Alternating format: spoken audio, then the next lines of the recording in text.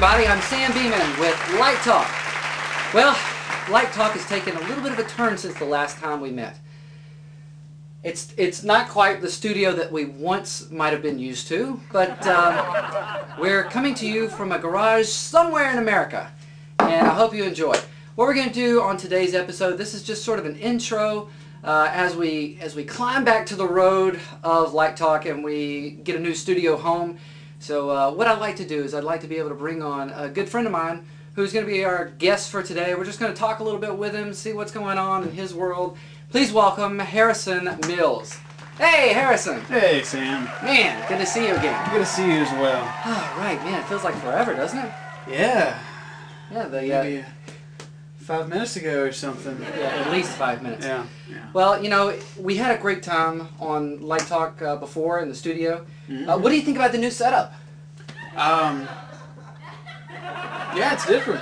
Yeah, New, new cutting edge. Uh, Yeah. Grunge, grunge look. I mean, I like it. yeah, Um, yeah. Could use a little bit of AC, you know.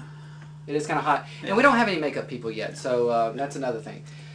Yeah, um, since the, the budget, budget's a little tight, Yeah. and of course Really there's the tight. recession. hmm Um, I haven't been able to afford a haircut. I mean, as you can tell, look Yeah. at that. I mean, the last time you saw him, I mean, it was, it was, uh, it was very short, Mm-hmm. and uh, so now you're growing it out. And tell us about this hairdo, anyways. I mean, do people stop you and ask you about this? Um, it's it's actually funny because I get a lot of uh, mostly mostly girls and say, "Hey, how do you do that? Do you spend hours upon hours?" I'm like, "Hey, I'm a guy. I do the least amount of effort possible for my hair." They're like, "Oh my gosh, no way! I would spend like." 10 hours doing something like that. I'm like, I don't have the time the day to do this. It's it's it's natural, ladies. If you're wondering, shampoo. Look at that. It springs. It's, yeah. Shampoo, mousse. That that that's it. Yeah. Shampoo and mousse. Huh. Yeah. Well, there you have it. Shampoo and mousse to have those Five minutes. That's gorgeous locks. That's, that's what I like to uh, uh, say from time to time. The gorgeous locks. Actually, I don't think I say it quite like that, but No. even have like old ladies ask to touch the hair. which is Which cool. it's it's kind of strange when you don't know them, but they're you know they're old ladies. Like, so- oh, let me just. touch yeah, yeah. Like they're just so beautiful. Can I just? And I'm like, I'm don't gonna humor touch- you. I'm gonna humor you because, you know, you're my elder. I'm supposed to respect elders, and you know, I let them touch it. You let them. Okay. And then they say, I would just kill to have hair like that. I'm like, just don't kill me. Yeah, exactly. We'll be good. Because they kill you, take your body, take your hair. I, you know, I'm like, you know, lady, if you want, I, just just give me a couple of years. I can make a wig out of this so you can wear it. Then, boom. Well, there you have it. So for those of you in our studio audience uh, that are watching, give him a few years. He might be able to cut some of those locks for your wig. Right. and send checks payable to Harrison Mills. Okay, okay. Uh, what's that email address? Uh, Light Talk TV. Okay. Right, So, right. uh, yeah. Um, and, and you know that reminds me, we actually do have an email address set up. So for uh, for those of you out there watching on the internet who might want to send something in to Light Talk, maybe have an idea for something you want to see us do. Hey, I don't know, suggestion. Uh, maybe you got a funny story or a question, something you want us to read on the air. Uh, we'll be glad to uh, to humor you with your humor. Uh, and that's lighttalktv at yahoo.com. Lighttalktv at yahoo.com. Yeah, uh, it's pretty simple. Okay, now one of the things that we want to uh, talk about is character. Uh, that's one of the things that I think we don't hear enough about is uh, good character. My shins are sweating. Yes, uh, just thinking about it. Um, and you know, I've known you for a while, and you've definitely displayed good character. Uh, how do you do it? How do I do it? Yeah, I mean, because you're usually pretty nice to people. yeah. You know, I see you holding up, you know, doors open for older ladies, and then shutting them in the face of young kids. I'm Right. kidding, but. But uh, no, I mean you're you're very very helpful and uh, very thoughtful. Um, where where do you find uh, the strength, the motivation? Um, where do you get that from? I mean, is this your own doing? Like, I just want to be the nicest little thing. Uh, no, sometimes I just, especially for those people who you know I do hold doors open for, and they just walk by. I just want to say, yeah, you're welcome. You know, it's, that's some things that you know you want to say because like, oh wow, you're being rude. You want to be rude back. But um, you know, I find my source, of course. Uh, wow, that rhymed. Uh, from you know from the Bible, getting into the Word, uh, having a relationship with Christ, seeking Him first and foremost. You know, those feelings or whatever that want to come up and just want to say you know that worldly or fleshly you know uh, battle that we have. Um, you know, uh, just mouth off to somebody. Mm-hmm. I'm like, well, you know, Christ. That Tell somebody where they could go. Right. Yeah. Or where they're going. Where they're but, Uh, um, that's not edifying to Christ. It's not. It's not glorifying God whatsoever. And then, as a Christian, we're, we're called to be uh, the salt and, and light in the world. And um, you know, if if I'm acting like a stink bug Mm. or whatever, You might get um, squashed. yeah. And there'd be a foul smell everywhere That's right. and people will turn their nose up to uh, Christians everywhere, Mm. which unfortunately sometimes that's the case. That's the case, yeah. Well, I, I have noticed that you have a good attitude about a lot of things, and of course, you know we're not perfect. No. Uh, you know, we come across things all the time, like people not using blinkers. Um, what do you do about that? So, uh, wait, you didn't say anything about that, did you? no. Okay, all right. Uh, but I've That's- heard mm. a lot of. That's a personal testimony of yourself, isn't it? So Yeah. write to us, Light Talk TV at yahoo.com. We want to hear from you, and feel free to pass this pass this uh, video along to your friends on Facebook, MySpace, Twitter, uh, whatever. So, anyways, thank you again, and stay tuned for more of Light Talk. Light Talk presents Stand Up for Jesus. Cecile Kaiser. And I do get to do a lot of traveling. I see a lot of public restrooms, and I have to say there is one word in the English language that strikes fear into my heart like no other. Unisex. It stands for unbelievably nasty insanitary experience. I want to boldly go where no man has gone before me.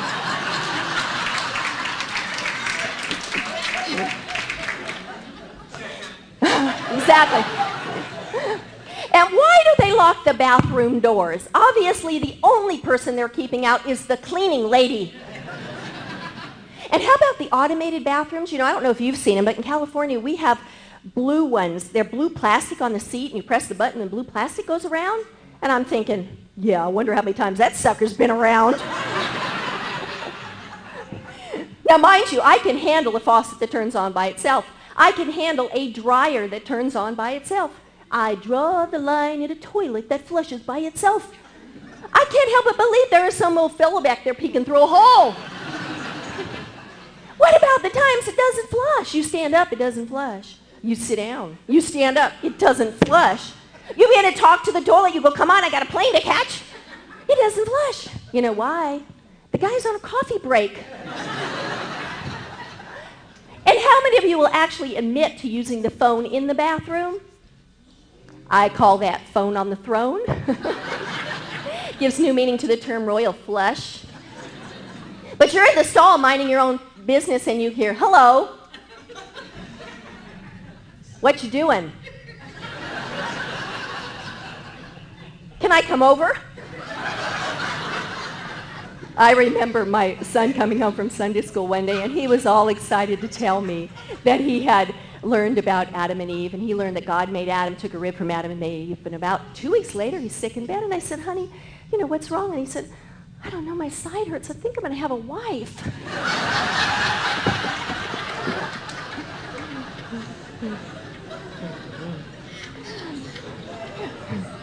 My husband Bill has his own version of the uh, creation story. It goes, in the beginning, God created heaven and earth, and he rested. God created man, and he rested. God created woman, and ever since that time, neither God nor man has rested. Bill and I have been married 33 years. I must say, in all fairness to the guys, we ought to do away with the wedding vows and just read you your rights. You have the right to remain silent. Anything you say will be used against you in any argument. You have the right to a marriage counselor. If you cannot afford one, my mother will step in. Mm-hmm. But Bill's a cuddler. I love it. I lay on my side and he fits perfectly right here and he whispers the sweetest things in my ear, you know, like. oh. When we first got married, Bill had one thing on his mind my body. 33 years later, he has one thing on his mind the remote control. and we watch football. We not only watch the game, we watch the pregame, which is everybody sitting around telling you what you're going to see. And after the game, we watch the postgame, which is everybody sitting around telling you what you just saw. And then we watch the highlights, which is the whole thing all over again. And you guys wonder why we think we have to tell you the exact same thing three times in a row.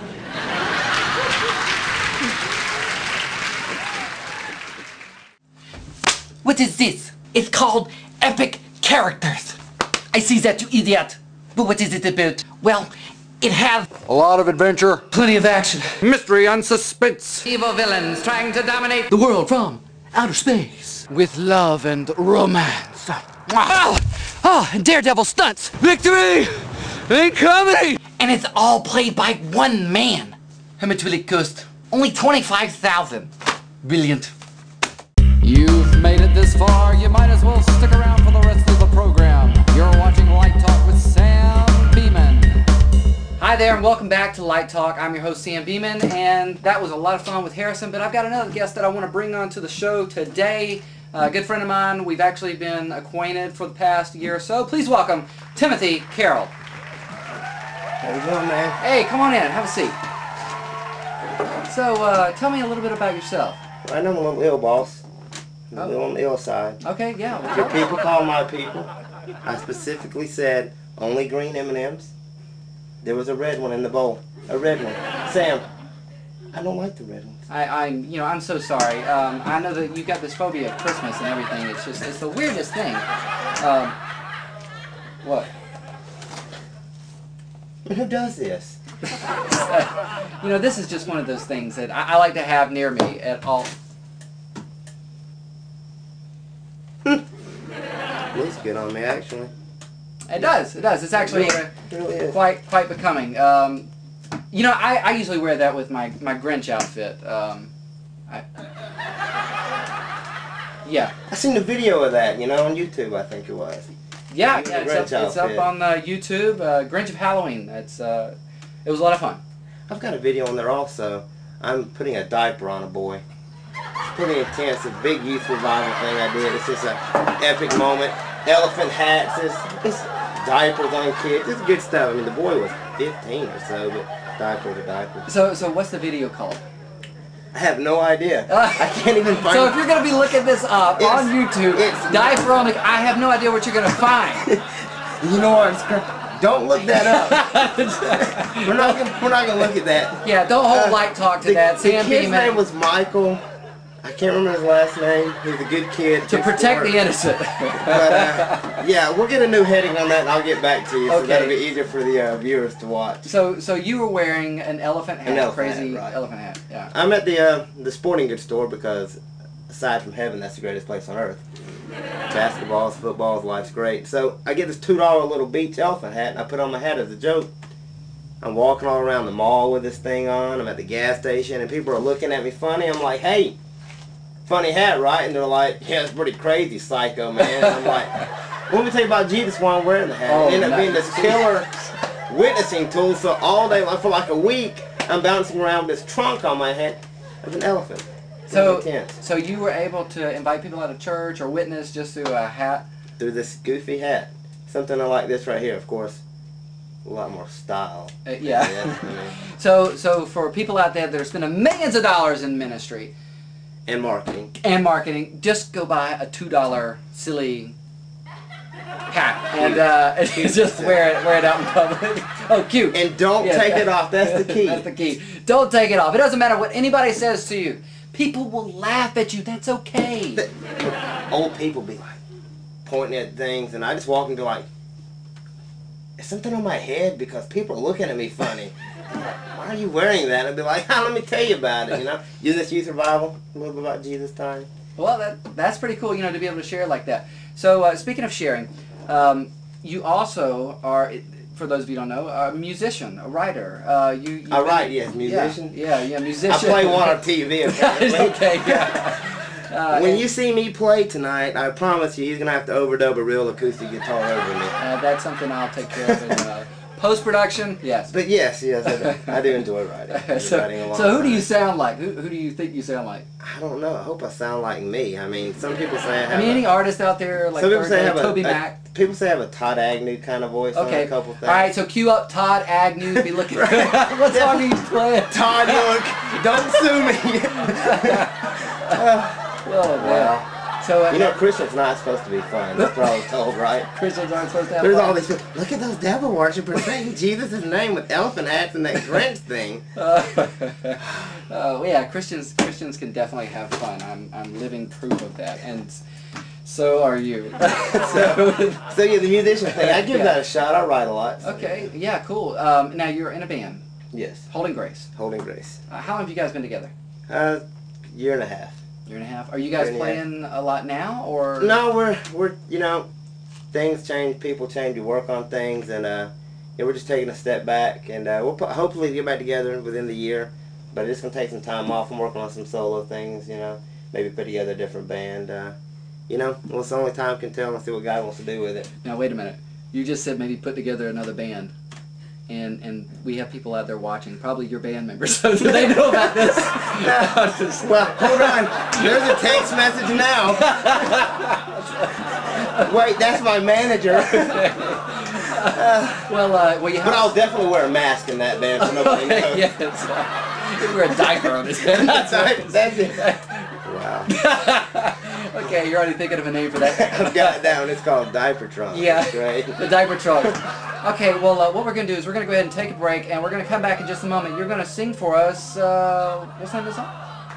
I need you now. Ne- I need you now. Okay. All right. Well, stay tuned. We'll be back in just a moment with Timothy Carroll. I need you now. All right. Look what I found. I got a balloon. I'm ready to eat. this is all right. Talk about customer service. I love it. Sir, Yes. that belongs to the store. Oh. Uh, I thought it was a part of the meal. No. Uh, okay. Uh, here you go. Okay, thank you. Thank, thank you. All right. Well, like uh, it for real though? I, I guess. What's that? Would you like it though? Uh, hey, yeah, sure, why not? Okay. All right. Wow, talk about customer service. I love this place. Okay, well, uh, we'll get back to our show in just a moment. Watching Light Talk with Sam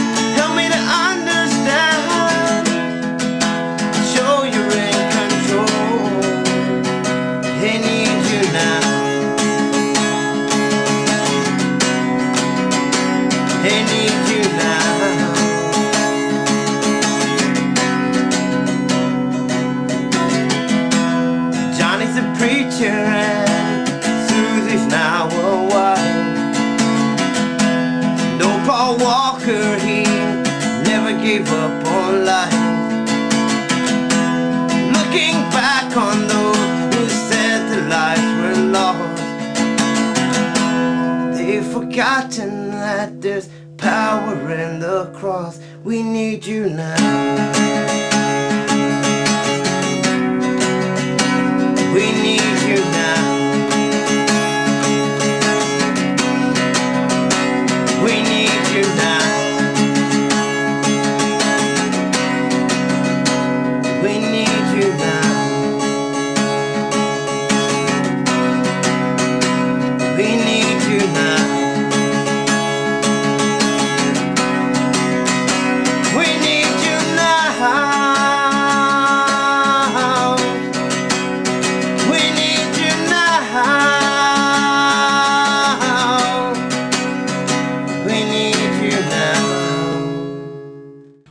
Time that we have on this edition of Light Talk. I'm your host, Sam Beman. We want to again thank our guests, Harrison Mills and Timothy Carroll. Uh, be sure to look up that video on YouTube. Um, but anyways, uh, stick around for the next edition of Light Talk. Take care and God. Hey Harrison, I bet Leno's got air conditioning. Thanks. Good night.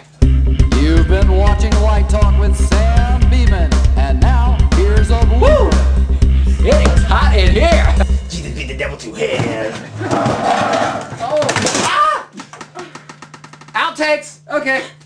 Um, we'll be back in just a moment. Here's a short video clip of Sam interviewing guests such as Rebecca St. James, Michael Tait, Jeremy Camp, John Gray, Big Daddy Weave, and many more. Here we are, Light Talk. We've got a great show lined up for you today. And uh, tell you what, I'm going to see if I can find anybody around here. Um, well, would you look at this? Rebecca St. James. Rebecca, so nice to meet you. Good to meet you too. Oh, wow, this is exciting. Uh, what would you like to say to our, our audience out there? Well, just want to um, yeah give a shout out to everybody watching, and probably the best thing that I could do would be to um, just leave a verse with you. Um, it's probably one of my all-time favorites, and it's Ephesians 3:20. It says, "With God's power in us, God can do much, much more than anything we can ask or even imagine." God bless you guys. And this guy here is a little suspect, but we like him. Appreciate it. Would you later on be Put the thing together. It'd be awesome, Oh, man. man. I'm serious. Here we are with Jeremy Camp. Jeremy, man, it was so awesome. I tell you, just uh, rocking the house, and the Spirit of the Lord was just heavy in the place. Uh, anything you'd like to say to the guys uh, for next year? Oh, I, I can tell anybody who uh, wants to come to this is going to be blessed because I, I, I was totally blown away by everyone's heart. Everybody, like staff, the, the kids, their heart for the Lord encouraged me. So, I mean, and I, you know, we play a lot of places and it's just, I could tell that everyone just loved Jesus and that, that's what makes it for me.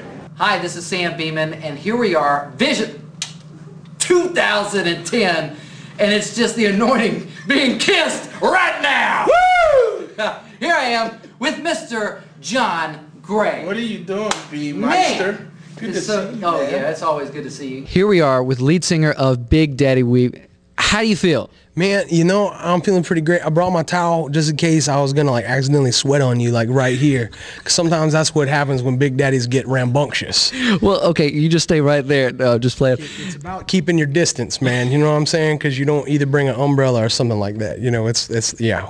Well, what I thought was kind of funny is you uh, you joked around about uh, doing a stage dive. Yeah, yeah. Be careful for that, because if Big Daddy's near you, do a stage dive. It could mean like impending doom of some sort for you, you or the people around you. Here with me is Ricardo Sanchez. Come on in. Hey, dude, Hey. Sam, it's good to see you, man. man. it's good to see you as You well. too, sir. I tell you, that was anointing out there. Ah. That was just amazing. Thanks, man. Thank Um, you very much. I mean, just uh, seeing everybody just engaged in worship. Praise I know that we, we talk about this every year. uh, what do you think?